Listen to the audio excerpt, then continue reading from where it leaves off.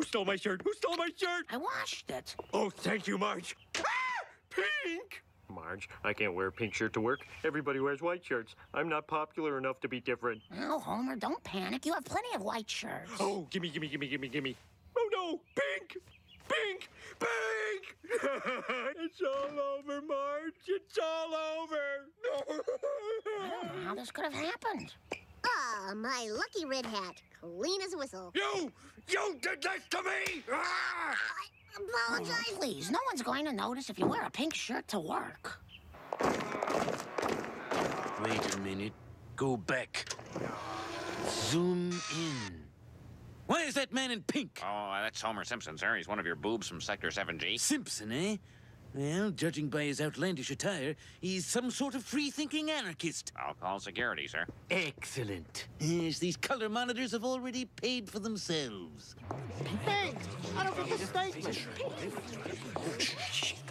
Hey, Homer, we saved your donut. It has pink frosting. Thanks. It look. Hey, wait a minute. Just because I'm wearing a pink shirt, it doesn't mean I'm some kind of a pink donut eater. Although it is tempting. Drop that donut. Let's go, Pinky. You don't understand.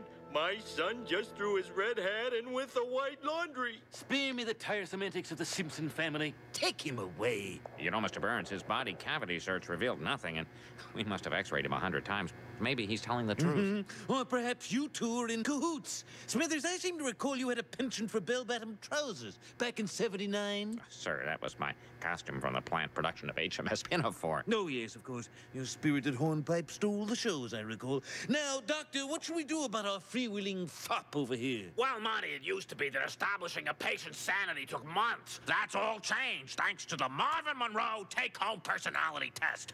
20 simple questions that will determine just how crazy or sugar someone is. Print name. Oh. Honey, do me a favor. Fill out this form. Homer, this is an intimate psychological profile. I can't fill this out for you. All right, all right. I'll get Lisa to do it. Lisa, you like homework. Could you fill out this form for me? Well, all right. If you listen to the poem I just wrote. Oh, okay.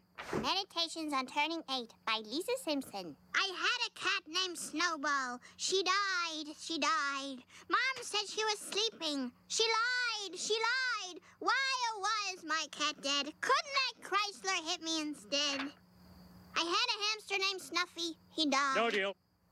Dad, maybe you should do this. Don, it's no different than the time I let you vote for me. Remember that absentee ballot? Oh, yeah. Dad, do you hear voices? Yes, I'm hearing one right now while I'm trying to watch TV. Yes. Are you quick to anger? Bart, shut up or I'll shut you up. Yes. Do you wet your pants? Well, even the best of us has an occasional accident. So did I pair? No. Oh! Careful, man. He wets his pants.